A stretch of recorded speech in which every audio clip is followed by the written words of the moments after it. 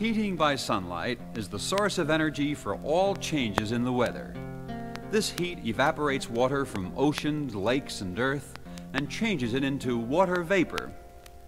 The sun heats the earth and the oceans and lakes, and it causes the vapor to rise. As it rises, it cools and condenses and makes all the clouds that we see in the skies. All the clouds have been formed cause the land and sea were warmed, and the vapor goes up with the air.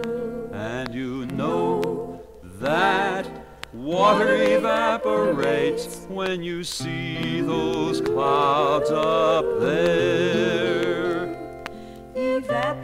Evaporation and condensation. The water cycle, the water cycle. Followed by precipitation. The water cycle, the water cycle. The never ending cycle is taking place all the time and everywhere.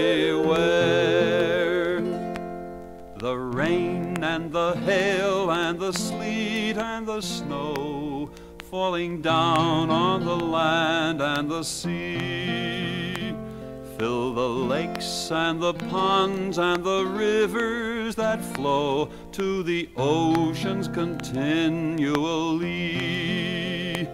And the heat giving sun just repeats what it has done, and the vapor goes up with the air.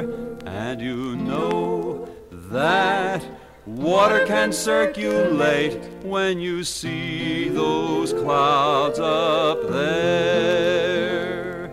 Evaporation and condensation. The water cycle, the water cycle. Followed by precipitation. The water cycle, the water cycle.